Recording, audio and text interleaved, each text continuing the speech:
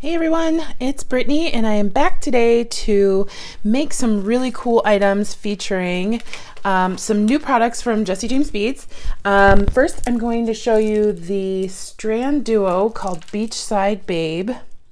And the first strand is called Beach Tan and it's all glass and I am obsessed with this bead right here and I'm going to be using that in um, a design today and it's just full of really pretty crystals. Mm, I love crystals, and they're a really nice, like um, gold tan hue.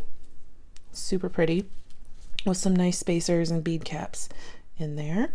And then we have the um, Walk on the Beach designer strand, including this beautiful set of boho beads here. And then there are some stone beads, and I, I think that might be some kind of agate. And then we have some crystals, and I think this is ceramic. Um, and then we have some really cool bead caps on there. So we're gonna make some items. I'm not 100% sure what we're making today. I know we're gonna make some earrings, probably a bracelet or a necklace.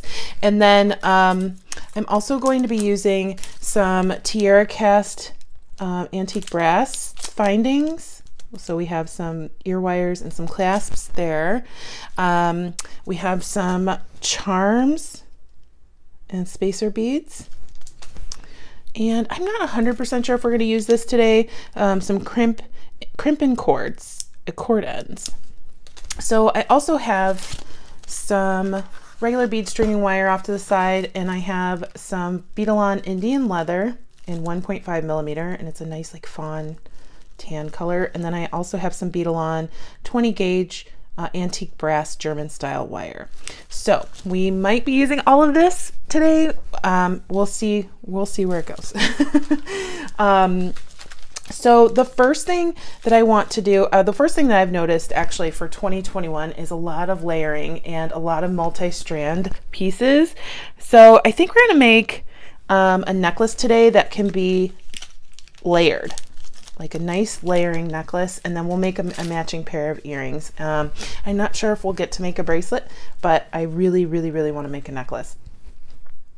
So the first thing I'm going to do is I'm going to cut apart these beautiful strands. I know we don't want to do that because it's a shame. I just love all these crystals. And then I'm just going to take them off the strand. I am going to set apart these two because I know I want to use those in a pair of earrings later. Um, I'm going to put my crystals off to the side. And then I'm just going to do the same thing with the Walk on the Beach set. Um, I'm almost certain I want to use either these bead caps or these bead caps in my pair of earrings. So I'm going to set one set of each of those aside. Okay, so um, I'm going to look, at, I'm going to lay out some beads that I would like to make into a necklace. And we're going to use several different techniques during this necklace, and it's going to be a really nice necklace to layer. Um, so I think, I mean, this guy's stunning with the shell in it. So I think I want to use that as the focal. And then um, I definitely want to use these two stone beads. So I'll put these guys out here and I'm going to use some bead caps with those. So I'll put those by my bead caps.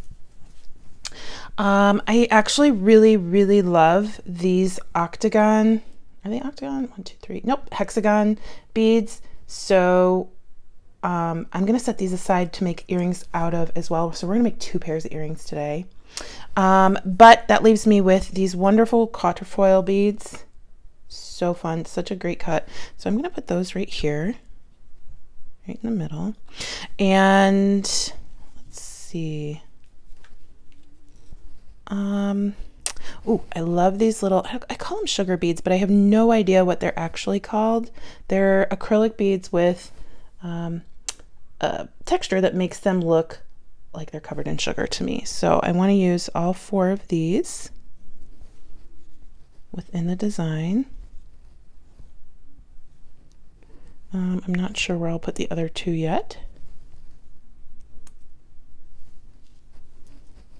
And, um, oh, I'm seeing these two tiny antique copper spacers. I'm going to set those aside to use with some of my earrings.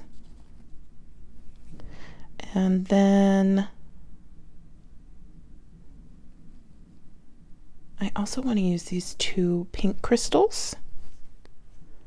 I am going to put those on the outside of my gemstones. And I think I'm going to put the two black sugar beads right here. I do want something to transition from this larger bead down to these flatter beads. And I think we can do that really well with these two um, gray or taupe rondelles.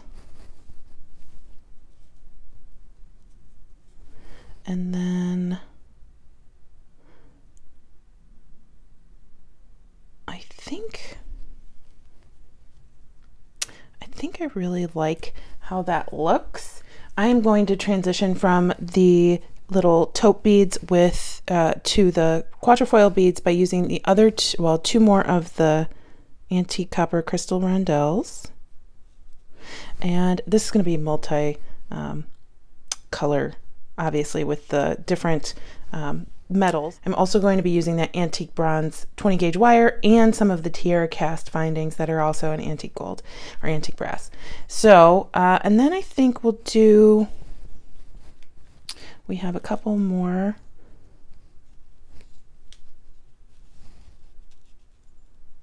And we'll incorporate those. I think we'll put the antique copper ones right here between the black and the pink and then the gold between the black and the black, or the brown and the black.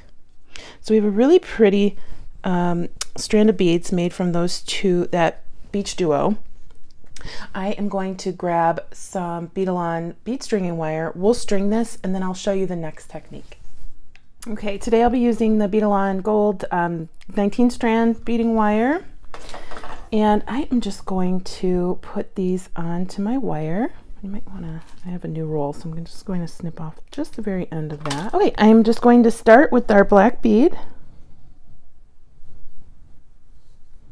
And I'm just going to move on down the line. So then we have our crystal spacer,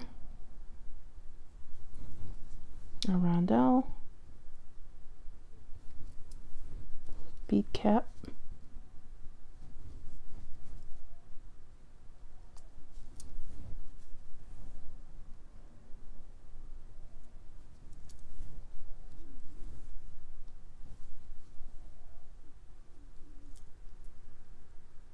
Oh, see now I didn't, um, if you look at this, it's, we've kind of run into a redundant issue. We don't really need the um, gold between the black because of, I forgot we had the bead cap there. If you don't like something, go ahead and change it. I do that all the time. I'm just going to slide the black bead cap on there and I'm going to see what it'll look like between that black bead and the quatrefoil.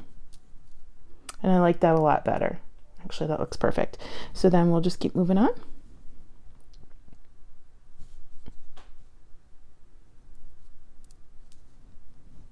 looks cute too.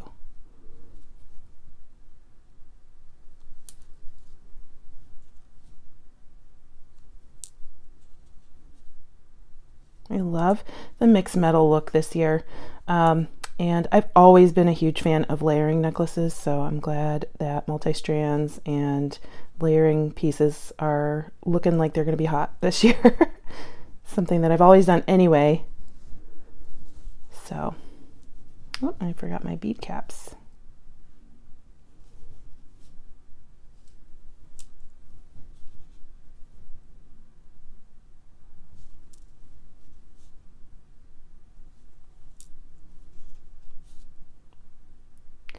Okay, so we're at the end of our strand. Here is what the focal part of our necklace looks like.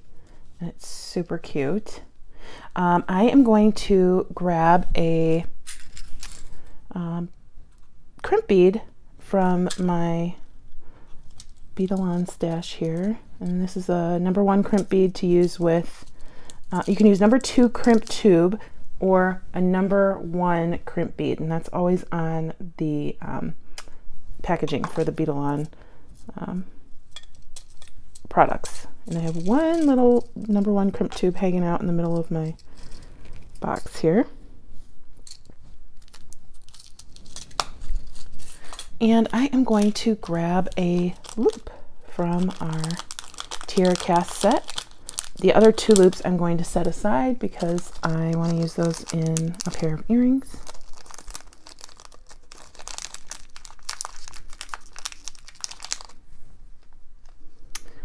And then I am just going to crimp this onto our loop.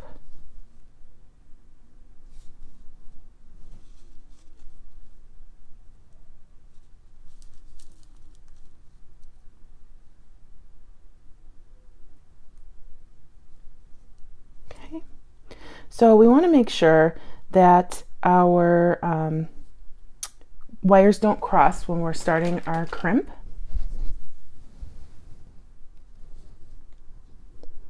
And I want it a little bit closer. And you can absolutely use a wire guardian here too if you'd like. But I'm going to, if you see there is a dip and peak, I'm going to put that crimp bead inside of the dip. I'm going to slide it down a little bit. And crimping on camera is always stressful. and we'll just make our crimp. And then I will turn it 90 degrees and crush it a little bit more. And then we'll do it again. Keep walking it up the jaws until it flat crimps. So then we have some movement on our ring I will cut this off at the end of the necklace when we're finished with everything. I am leaving this attached to the spool because I have another step before I crimp the other side. I always slide a few um, inches of the wire into my beads and that's not because I think it'll reinforce it it's just because I think um, it'd be easier to crack this crimp off than restranding the whole necklace if I make a mistake. The good part about this is you can if you don't have a crimp cover this black bead is going to cover up your crimp tube or your crimp bead. It's looking great. Okay so I've cut a length of that um, natural cord, leather cord, the 1.5 millimeter. And I've also cut a length of our 20 gauge wire in antique brass. So I'm going to go ahead and put my leather through my loop and I'm going to hold it just like that. Okay, you can just, you can do an inch, you can do a half an inch, whatever's easiest for you. And then I am going to take and hold in the back I guess the loop, it doesn't matter because there's not a real front of, or back of the necklace.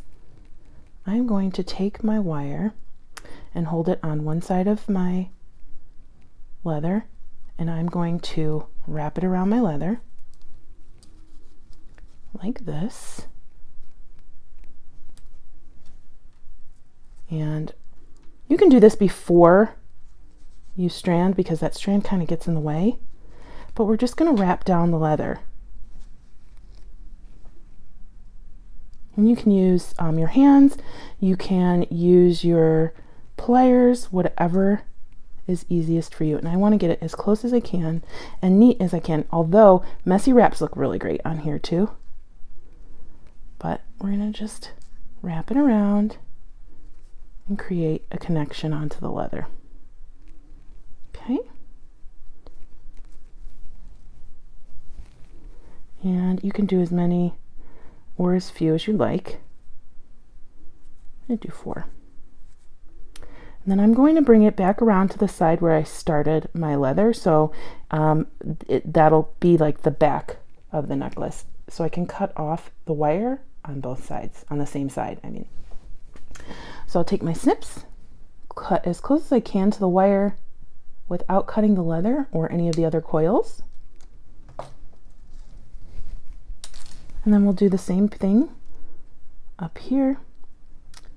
I'm going to bring that down just a little bit. And then we'll snip. And then we're also going to snip this extra leather tail. Okay. So here's one side of our necklace.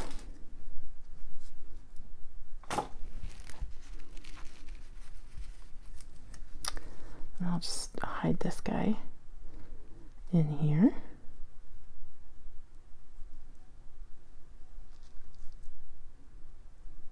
And then I am going to um, crimp the other side and then I'll show you how we finish off the necklace.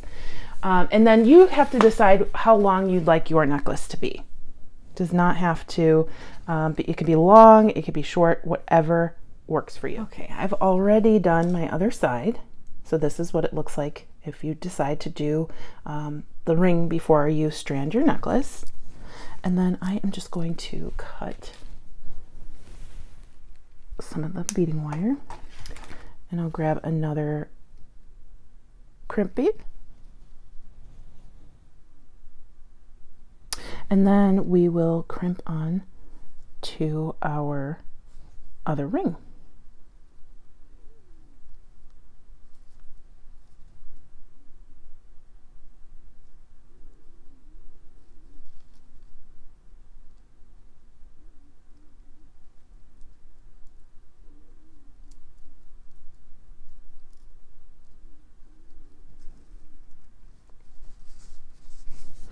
And as I've shared before, we want to make sure our necklace is loosey-goosey. We don't want to crimp it while the necklace is like this. And the reason for that is if you try to do that, your necklace won't lay well on your, your chest or on your neck. It'll look like a straight line or it'll just be too stiff and it won't flow well. So I'm going to make sure my necklace is loosey-goosey, meaning it's just kind of like that. Make sure that there aren't too many gaps between your beads. If there are, you can um, make sure that you're just making it a little bit tighter. So there is a little bit of gap showing here. Pull your string and then we will crimp.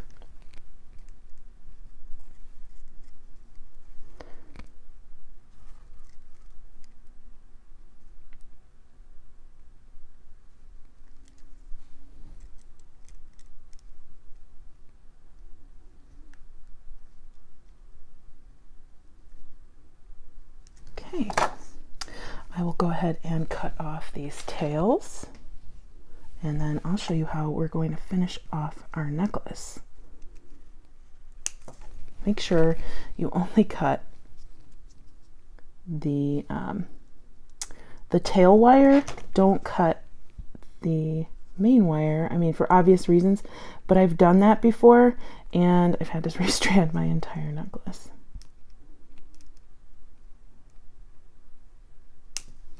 Okay, so there is our middle part of our necklace, and then we will finish off the ends. TierraCast has these wonderful, um, I think they were called crimp, crimping cords. So they're cord ends that you can crimp without using glue. And um, so they were perfect for this 1.5 millimeter leather. I'm sure they'd be, I'm almost positive they would fit two millimeter leather, but I'm not 100% sure about that. All I'm going to do is slip the end of my leather into the crimp cord end, the crimping cord end, and I'm going to squeeze. And I'm going to do that a few times just to make sure that it's grabbed in there. You can use glue. Um, this seems pretty sturdy to me and I don't feel like I need to. Uh, and you could do this with just flat pliers if you like.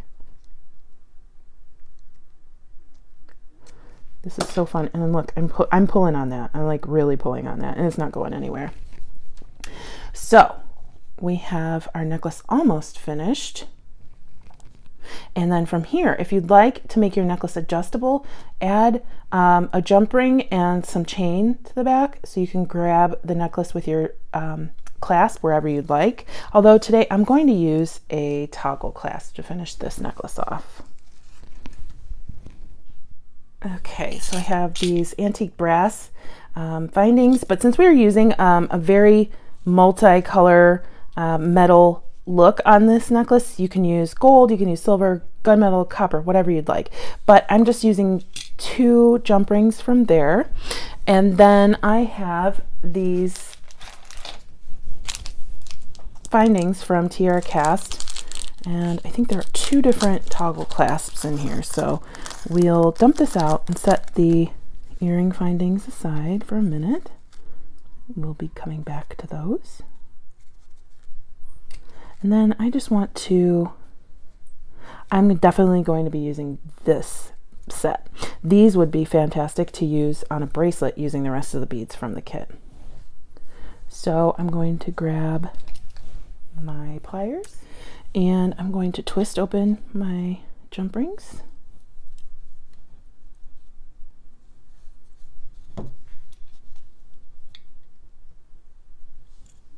And just hook on my clasps. Those those crimp ends really made that easy. I need to need some more of those. okay, so we have one side finished.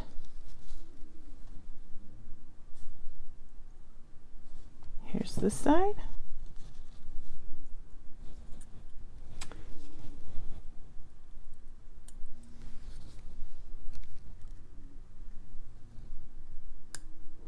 And our necklace is finished. This is so pretty. Let me back out so you can see the necklace. Okay, so here is the necklace, this portion. Oh my gosh, this is the perfect layering necklace, especially if you have like a nice long chain. You can make this necklace as long or as short as you'd like. Those beads, those pretty links. And I'm seeing here we need to tuck in, we need to tuck in our edge a little bit.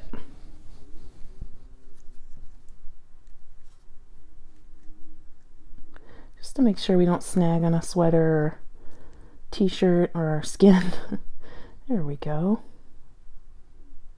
There we go. Just tuck it in.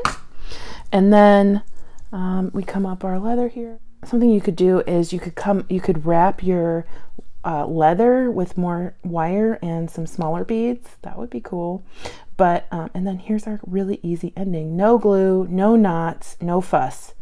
Just two jump rings and a pair of pliers. So there's our first piece. And then let's move on to the earrings. That's going to be really fun. First thing that jumped out at me from the entire uh, strand, that first strand, um, the beach tan strand, were these little crystals. And I, if you guys follow my channel, you will know I'm obsessed with pineapples, and these really, really reminded me of pineapples. These also reminded me of pineapples, so I have to make a pair of pineapple earrings. Um, and we're going to do that really easily. We just need two head pins. And I'm just using generic head pins here. And um, we have these beads. And I actually saved these gold stopper beads from the ends of those two strands. You guys I always keep these just in case I need them for something like this.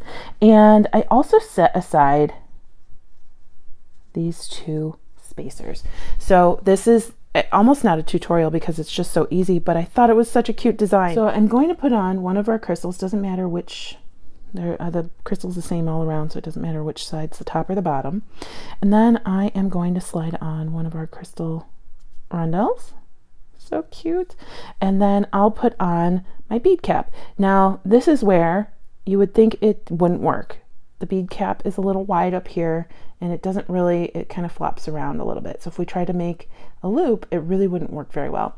But that's why I saved these little um, ender spacer beads so if we slide that down, all of a sudden, our bead cap cooperates. And look at our little pineapple. I think it's so adorable. so um, what I'm going to do is just bend my head pin. I'll snip off the unneeded portion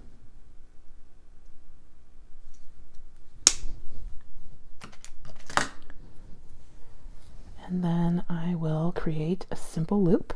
You can do um, a wire wrap loop if that's your prerogative, but I'm just going to do a simple loop here and I'm going to make it really make sure it's kind of tight in there so we don't have too much movement.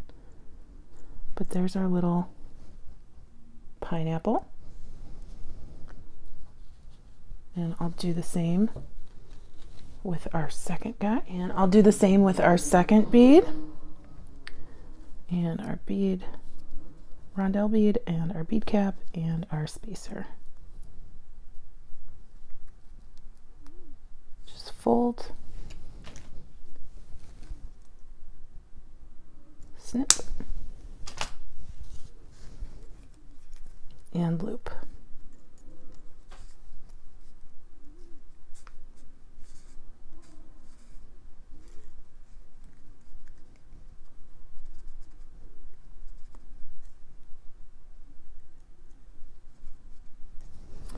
Okay, I'm actually cut that one a little bit too long, so we'll just come in there snip a little bit of our loop off.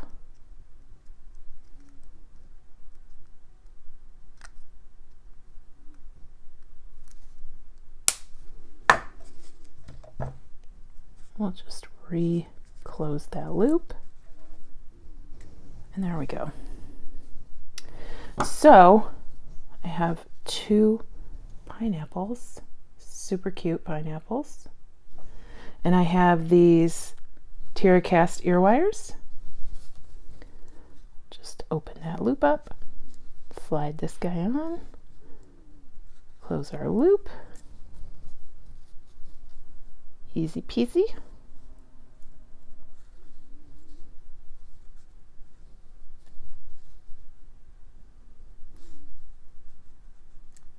And we have our first pair of earrings.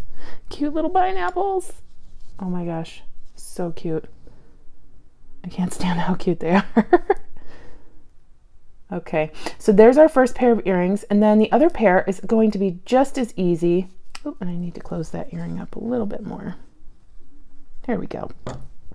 Our second pair is going to be just about as easy, but it'll be a little bit dangly. So I'm going to grab our hexagons. I'm going to grab two of our ovals. Aren't those pretty? And do I want something at the top too? I was going to just have the hexagons hang from the ovals, but we can make them super sparkly. How about we make them absolutely fantastic and use these teardrops at the top too? I think that's fantastic.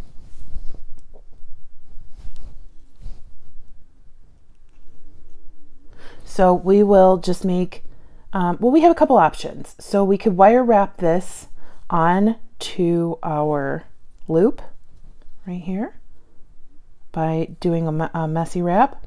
However, um, I think I'm just going to make a small um, simple loop. I'm going to use a jump ring to connect it and then we'll do the same thing with the top. I just need to grab a head pin and um, antique brass.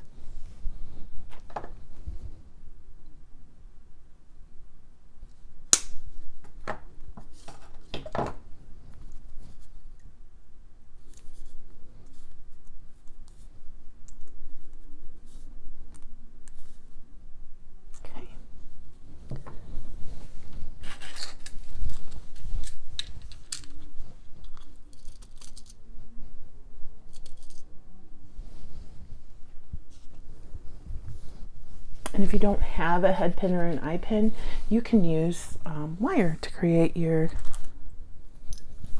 charm.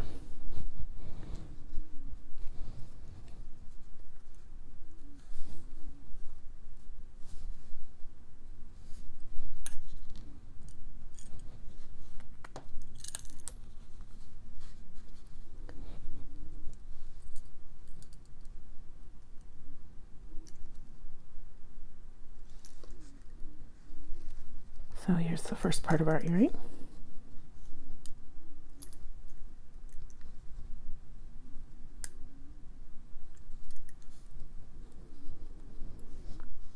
So pretty. And I have an eye pin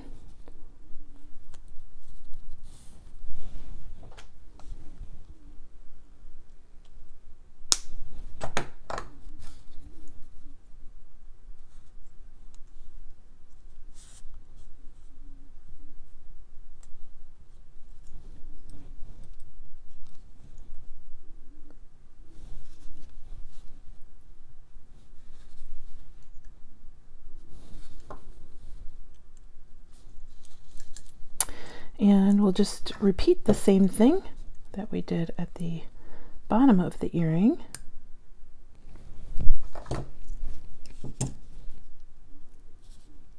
Oh my gosh, it's so pretty. And I'm not going to use a jump ring for attaching it to our ear wire. I'm just going to, like we did on the last pair, open our ear wire. Slide it on. Close up our ear wire. And here's our first earring. So sparkly and so beautiful. Oh my gosh. Oh my gosh. And it looks really cool with our necklace. I'll show you in just a few moments everything together. So let's make our last earring.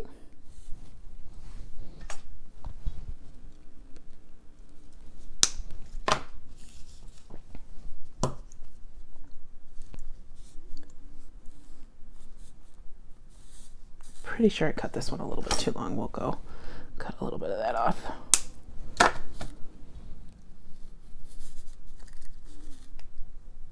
Okay. And we'll grab an eye pin.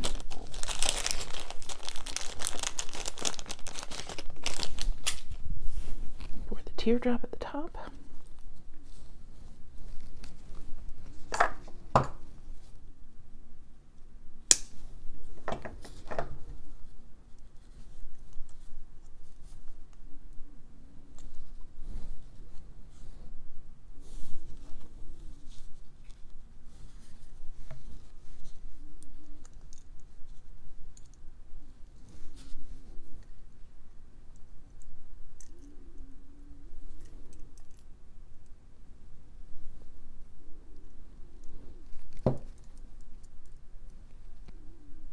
Make sure your edges touch when you close your jump ring.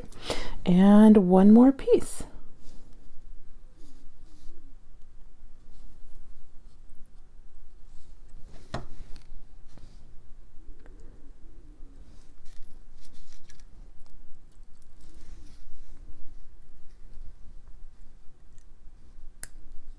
There we go. And I will just slip this on to another um, ear wire.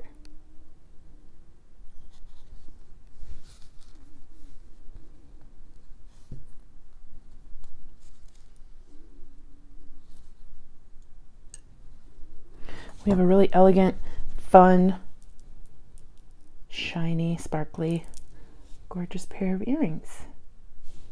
Here we go. Can you believe we made three pieces of jewelry?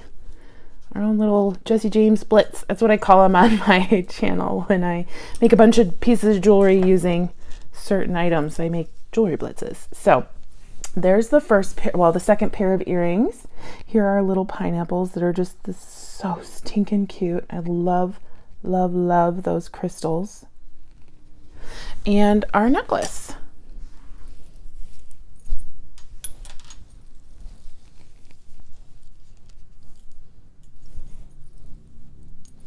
And let me scoot out so you guys can see everything. Okay, I think this is just such a fun little set and I had so much fun making it too. Um, and we used a few different techniques today. We used uh, bead stringing on to rings and we used wire wrapping with leather. And we closed those off with some cord ends. And then we made some fun, easy earrings. And these ones are kind of whimsical, I think. So Thank you so much for joining me today. I hope you have a fantastic rest of your day. Thanks to Jesse James for, Beads for hosting me, and have a good weekend. Bye bye.